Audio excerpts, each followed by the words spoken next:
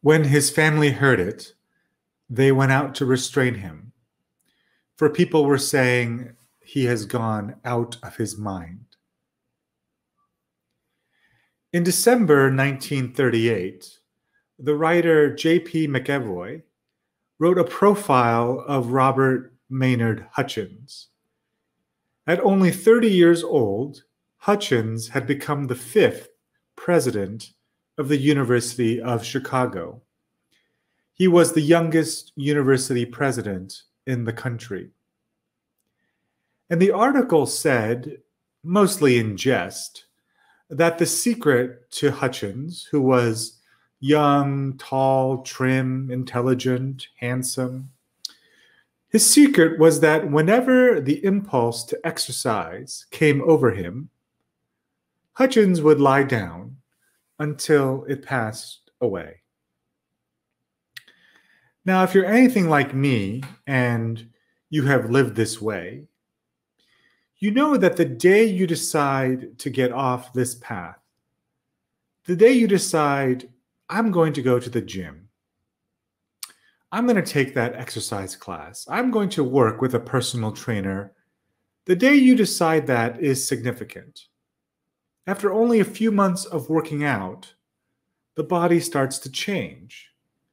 After a year, the transformation is almost miraculous more energy, more strength, more endurance, more confidence. No wonder there are gyms every few blocks here in Manhattan. Now, also on every few blocks in Manhattan are churches. But here, the transformation potential is more unevenly realized. I mean, do you know people and maybe this describes you, because it's described me, who go to church for years, even decades, and yet are the same as ever. What makes one experience rote and another one transformative? A couple of years ago in Chicago, Angie Thurston and Casper ter Kuile of the Sacred Design Lab gave a presentation.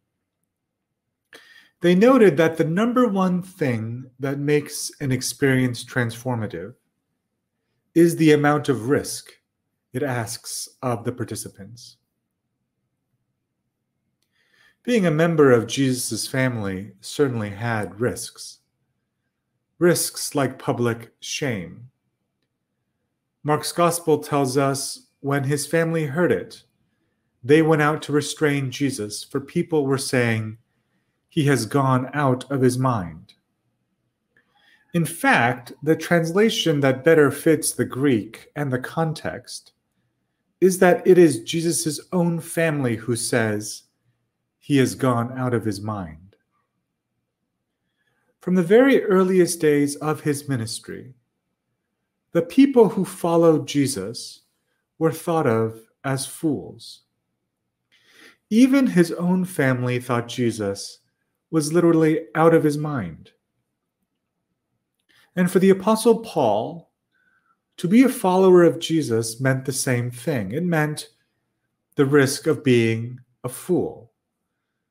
We know, Paul writes to the members of the church in Corinth, that the one who raised the Lord Jesus will raise us also and will bring us into his presence. Paul did not shy away from this astounding claim. Paul leaned into it. In his first letter to the church community in Corinth, Paul writes, Do not deceive yourselves. If you think that you are wise in this age, you should become fools so that you may become wise. And remember that Paul did not grow up a fool. Paul was highly educated. He was an accomplished Pharisee. As he tells the church in Philippi in another letter, as to righteousness under the law, I was blameless. But all of his intellectual accomplishments, he says, were rubbish compared to knowing Jesus Christ and the power of his resurrection.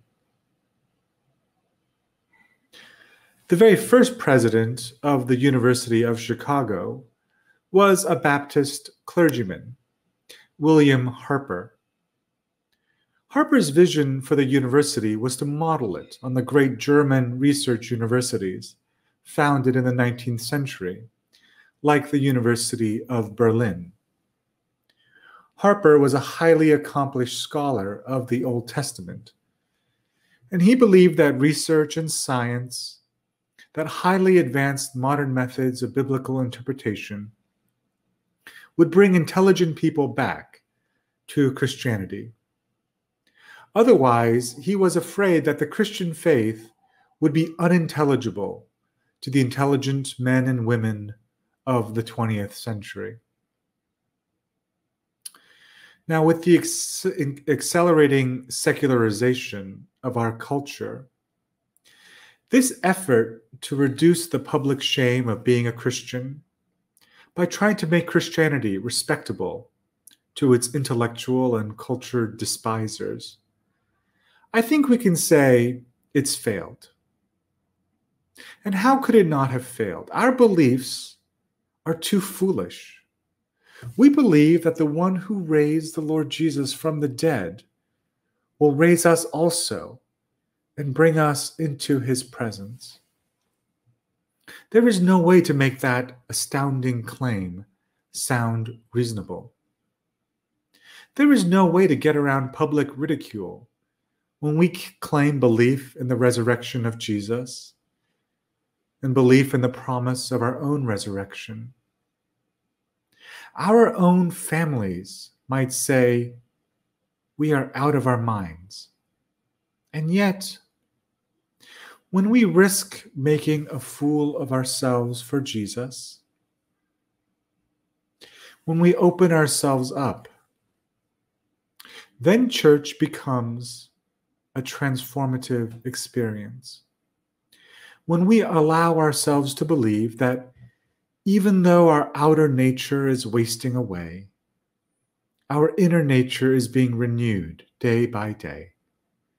That if the earthly tent we live in is destroyed, we have a building from God, a house not made with hands, but eternal in the heavens.